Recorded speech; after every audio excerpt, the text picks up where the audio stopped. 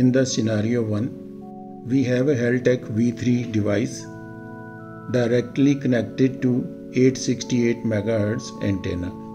Let's have a closer look at this antenna. I have used an empty bottle to mount this antenna with the help of a few connectors and adapters. We have tested this antenna in this video.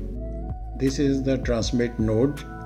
We are sending all test transmissions from this node. This device is a Heltec tracker version 1.1 with a shaped antenna. This is not a very good antenna. Should replace it in the field use. To send messages via transmit node, we are using Meshtastic Android app.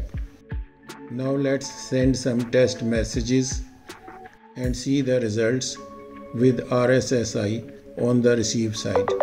RSSI is minus 35 for the tests without using the amplifier. Now let's set up scenario 2. In the scenario 2 we are using AB89 amplifier.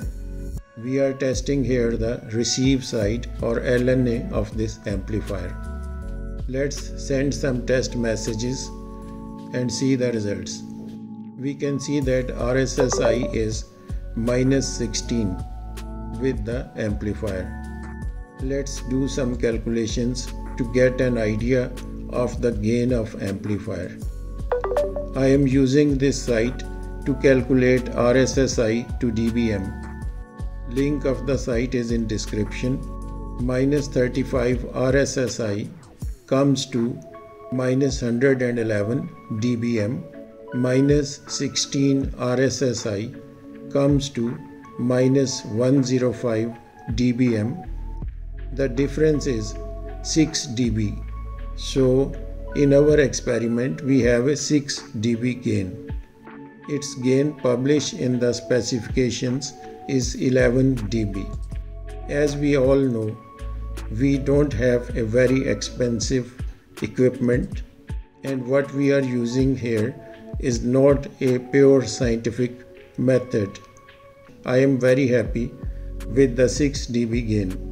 There are many obvious reasons for the low gain, but I am not going to discuss them here.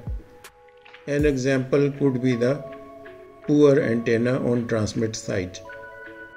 See you again in another video.